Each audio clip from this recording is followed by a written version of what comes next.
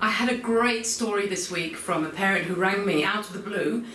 He'd been talking to a friend of mine, and um, you know, it's getting to the end of the year, and he was really worried about his son because the teacher left it this late to tell them that there was a problem. And you know, understandably, he was a bit frustrated because he said, you know, if if he'd been falling behind all year, why didn't he know about it? You know, they could have done some intervention program. So he's pretty disappointed with that.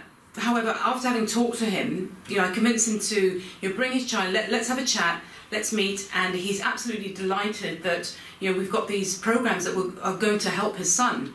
And even at this late stage, you know, it's November, we are still enrolling for 2020. Um, and he's, you know, thrilled and said, basically, if if it doesn't happen now, his son is going to fall further and further behind. I mean, he this is a typical situation. There's one in five students in New Zealand have a learning issue. I mean, that's a huge percentage. It's, it's, uh, it's massive. And whether it's reported or not reported, I think parents know their children pretty well.